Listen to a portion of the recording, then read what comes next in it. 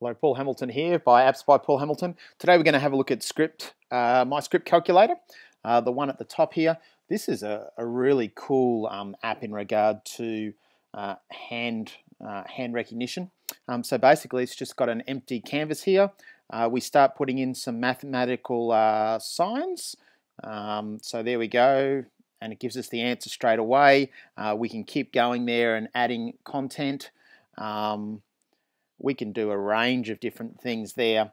Um, and you can actually see that it's actually picking up my um, quite messy handwriting really, really well. Um, really complex uh, calculate, calculations you can do there. Um, you've got the little back arrow at the side to go back to look at your working out as you go through. Um, and for students, this one would be a really good one for um, primary age students or elementary age students uh, with their homework, getting them to check their answers. And um, so if they've got a homework sheet there and it's got some multiplication tables there, they could do some little multiplication tables um, and check their answers as they go along.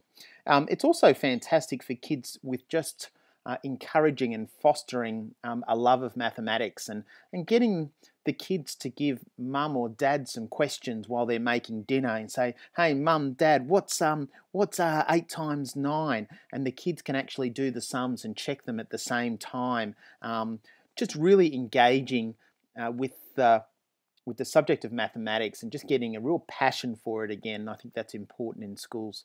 So there's just a really quick tutorial there on MyScript calculator. It's free, magnificent little app to have. Um, uh, on your iPads or iPod touches, and I think there's a web version there as well that you can um, that you can look at as well. Um, congratulations for these people that made this fantastic, uh, fantastic little app that's worth checking out. Paul Hamilton here, Apps by Paul Hamilton, signing off.